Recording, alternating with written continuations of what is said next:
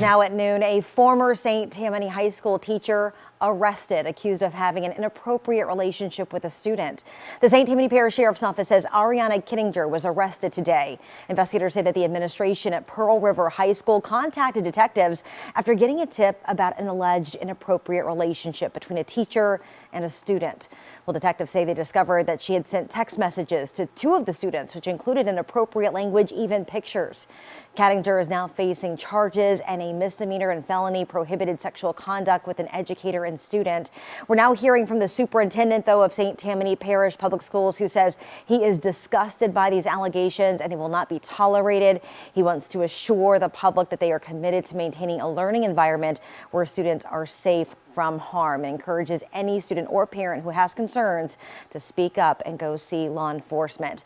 For more information, you can head to our website, WDSU.com, as we continue to follow that developing story.